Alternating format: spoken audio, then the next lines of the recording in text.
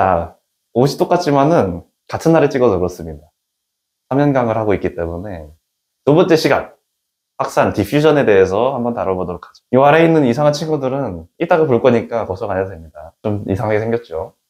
요거는 이제 원자들을 2D 평면으로 잘라놨을 때 원자 구조를 원자 구조 약간 결점을 2D로 이렇게 슬라이스를 쳤을 때 아주 이상적인 경우에 규칙적으로 배열되어 있고 아주 규칙적인 간격을 가지고 배열이 되어 있는 lattice 구조, 격자 구조를 가지게 됩니다. 이게 가장 이상적인 경우예요. 실제 경우에는 보통은 다 뭐 한 군데가 비어 있다라든지 뭐 다른 게 들어가 있다든지 하면서 엔트로피를 높이는 방향으로 되어 있기 때문에 이건 아주 이상적인 경우 이렇게 설명하기 좋은 경우라고 봅니다. 요 lattice만 놓고도 뭐 여러 가지를 알아낼 수 있지만은 언젠가로 기획되어 있는 재료의 물성 자체를 탐구할 때에 더 자세히 다루도록 하고 오늘은 요 레티스 내에 있는 원자들이 어떻게 움직이는지 쪽을 좀 더 자세히 다뤄볼 예정입니다. 첫 번째, 그 이제 완전 OT 때 했었던 얘기 중에 뭐 동위 원소를 도- 넣는다든지 뭐 그렇게 해가지고 검출해낼 수 있다. 라고 했던 부분을 기억하실지 모르겠지만 했었어요. 그래서 그거를 표현하는 겁니다. 요 약간 남색 도는 친구가 이제 동위 원소인 경우에는 self diffusion. 요 동위 원소가 아니라 아예 다른 원소다 하면은 substitutional diffusion. 스펠링 맞았겠지? 어, 맞았네. 어.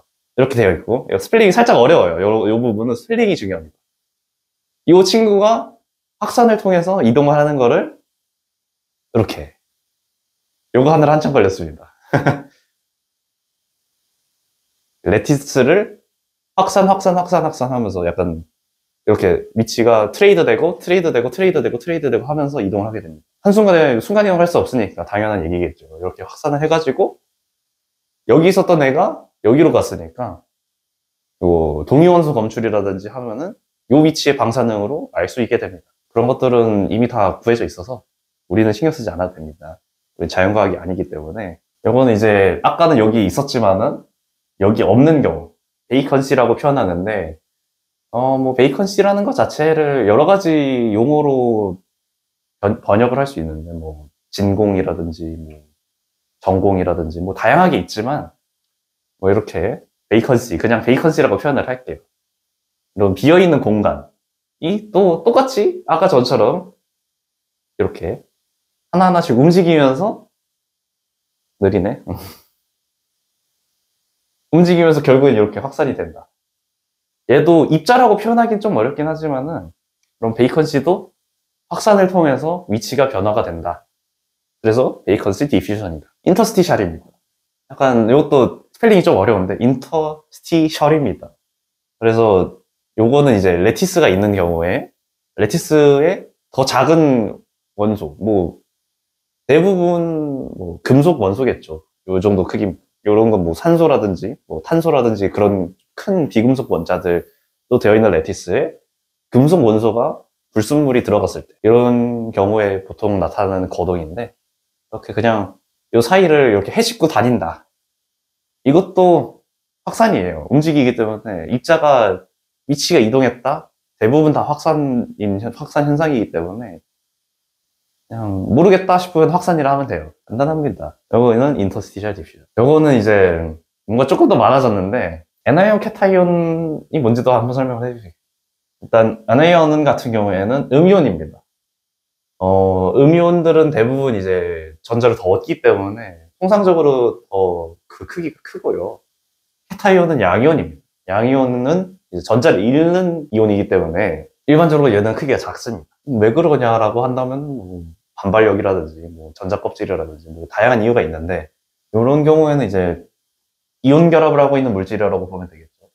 여기 내에서도 뭔가 이상하게 생깁니다. 그걸 이제 디펙이라고 표현하는데 전반적으로 이런 있어야 되는 거에 뭐가 없다라든지 없어야 되는 거에 뭐가 있다라든지 이런 것들 다 디펙이라고 표현하고 뭐 디펙이 상당히 그 범위가 넓은데 그거는 나중에 다루도록 하고 나중에 이거 아마 다시 다루게 될 거예요. 디펙을 더 다루게 된다면 그 디펙의 이 양이온, 음이온 간의 이동을 통해서 어떤 디펙들이 있는지 한번 확인을 해보도록 하겠습니다.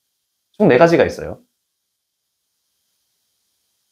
캐타이온이 움직이는 프랭켈, 요 anion이 움직이는 anti Frenkel, 두 개가 다 사라지는 Schottky, 두 개가 다 이상한 데에 들어가는 anti Schottky 이렇게 있는데 사실 이렇게 겹치면 안 됩니다. 이렇게 겹치면 안 되는데 간격을 너무 조그맣게 설, 설정을 해가지고 겹칠 수밖에 없어졌어요.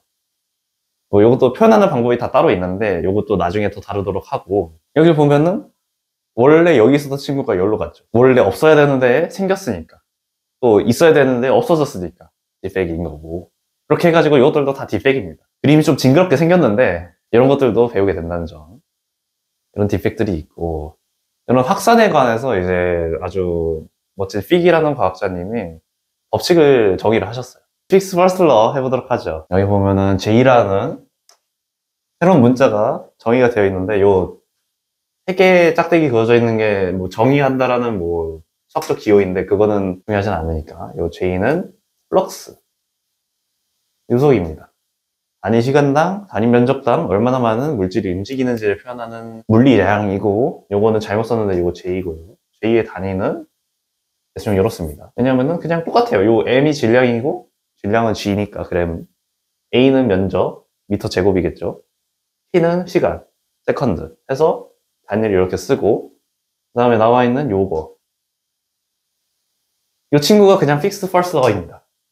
그냥 아주 간단한 기울기라든지 뭐 이상한 계수라든지 그런 것들이 곱해져 있지만은 관계식이기 때문에 이런 것들이 필요하다. 그리고 요거를 그래프적으로 나타냈을 때는 이런 곡선형으로 나타난다. 요거는 약간 조금 다른 내용인데 확산 계수랑 뭐 그런 것들이 관련되어 있고 요 활성화 에너지 QT, 뭐 기체 상수 R, 뭐 temperature T 해서 확산의 정도가 온도랑 관련이 있다라는 거를 나타내는 그런 관계식이다. 정도만 알면 됩니다.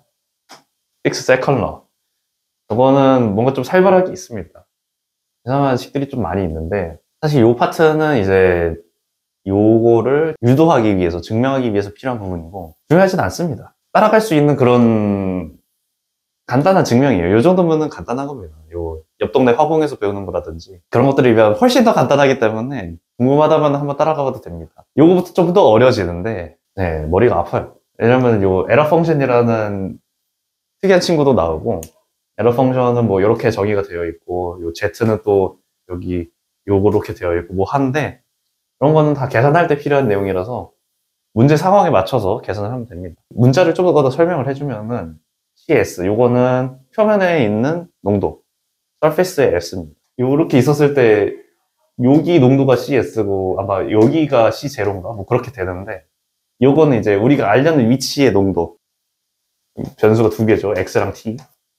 시간도 중요하게 생각을 하고 있다. Fick's second law에서 그냥 계산이라서 엄청 심도 있게 다루고 막 그러는 건 없고 이런 Fick's second law, first law 이런 것들을 요 time에 independent 한지 dependent 한지에 따라서 각각을 써줘야 된다. 라는 점이랑 문제 상황에 맞춰서 대입을 해서 구할 수 있다. edge dislocation을 한번 알아보도록 하죠. edge dislocation도 확산이랑 관련이 있습니다. 요거는 확산이기도 하고 금속이랑도 아주 중요하고 다음 시간에 다룰 내용인데도 아주 많이 등장하는 내용인데 그냥 간단하게 정말 간단하게 아까 lattice에서는 원자들이 여기에 이렇게 더 채워져 있었는데 이게 통으로 이렇게 사라졌다고 생각하면 됩니다. 얘도 확산하는 걸 한번 일단 봐보고 다음 설명을 하도록 하죠. 똑같이 diffusion이 이렇게 확확확 일어나면서 옆으로 이동합니다. 네, 이렇게 이동을 하고 이렇게 이, 동한 시점에서 한번 더 설명을 해보도록. 이 엣지 디스로케이션이 어떤 방향으로 움직였습니까? 전반적으로 이렇게 이 방향으로 이동을 했죠. 이렇게. Burgers 벡터라고 말하는 요 B라고 줄여서 표현하는데 방향이 이 방향이어서 이렇게 표현을 합니다. Burgers 벡터도 또 dislocation의 움직임에 아주 중요한 지표가 되기 때문에 이것도 벡터입니다. 이것도 기하적인 센스가 있다면 편하게 할 수 있고 extra half plane 약간 half랑 plane을 동시에 말하기가 조금 발음이 어려운데 이렇게 요 아래에 있었던 게 날아가고 남아있는 추가적인 면 extra half plane이라 하고 어, 이런 것들이 있고 이런 edge dislocation들은 이렇게 재료 시편 내에서 움직이기도 하고 새로 생기기도 하고 서로 꼬이기도 하고 난리가 나기 때문에 이거에 따라서 이제 물성이 많이 변하게 됩니다. 이 변하게 되는 물성을 이제 다음 시간에 알아보도록 하죠.